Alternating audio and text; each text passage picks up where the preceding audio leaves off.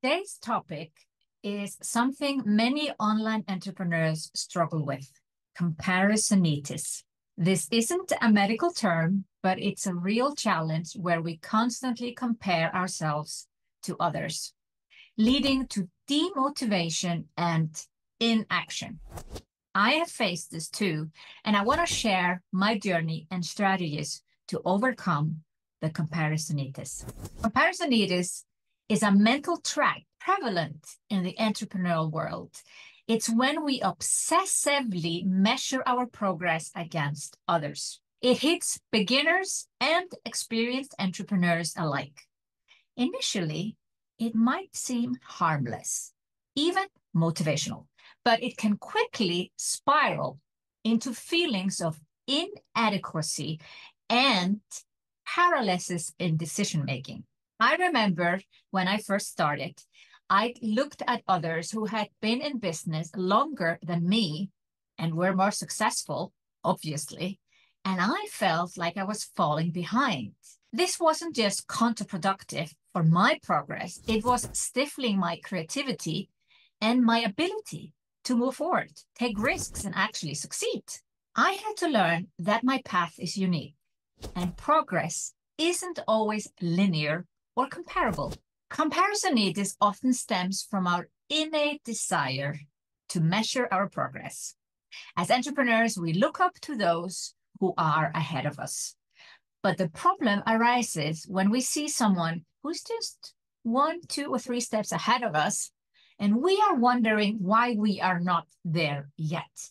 And this, instead of being an inspiration, can lead to frustration. In today's digital age, social media actually makes this worse. Platforms are flooded with success stories. They seldom show the struggle, the late nights, the failed attempts. We see the glory, but not the grind. It's important to approach social media with a critical eye and understand it's the highlight reel. It's the best of the best. It's not the whole story. Overcoming comparisonitis requires a proactive approach. Start by curating your social media feeds. Follow those who genuinely inspire you and unfollow or mute accounts that trigger negative emotions. Remember, your feed should empower you and not drain you. Self reflection has been a game changer for me. Whenever I find myself slipping into the comparison, I pause and reflect on my own journey.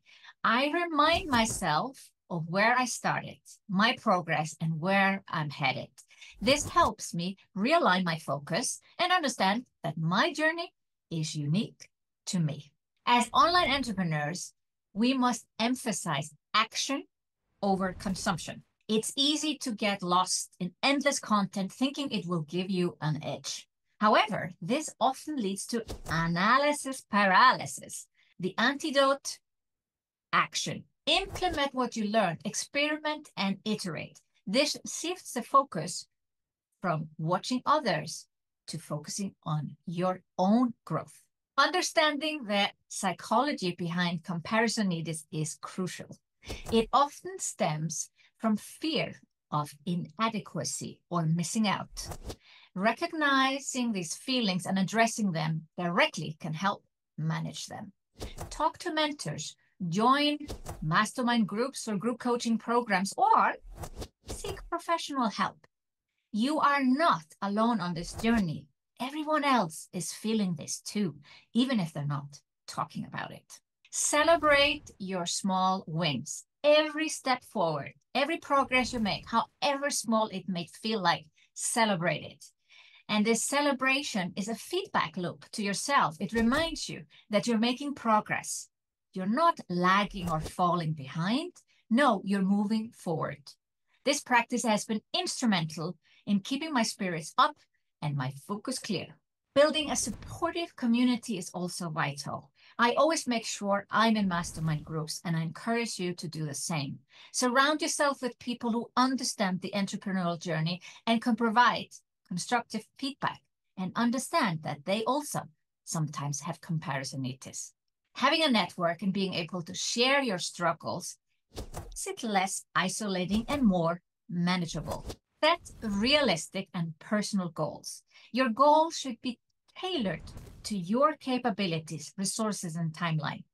This personalization makes it more attainable and relevant. You are not in competition with other people. If you are in competition with anyone, it's yourself. It'll boost your confidence to be able to achieve your goal, and then you can set new goals. And you don't need to compare your progress, your journey to anyone else.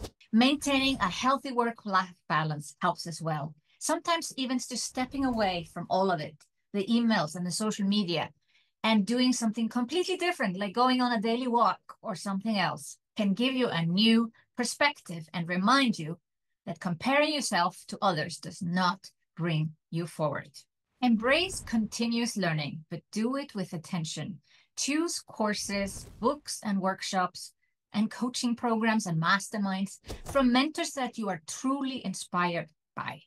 This targeted approach to learning helps you apply the knowledge effectively and keeps you focused on your goal instead of watching constantly what others are doing. Always keep the bigger picture in mind. Remember why you started this entrepreneur journey and the vision you had for yourself when you started out. This vision keeps you grounded and you're not swept away, even if you have temporary setbacks or distractions. In the end, comparisonitis is a common hurdle but it's one that you can overcome.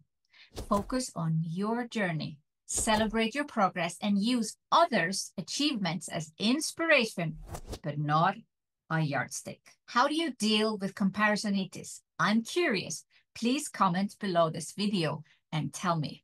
And if you enjoyed this video, please like it, share it with someone who might benefit, subscribe to my channel, and if you're interested in more topics like these, then watch this next video. Thank you for watching this video. I'll see you again soon.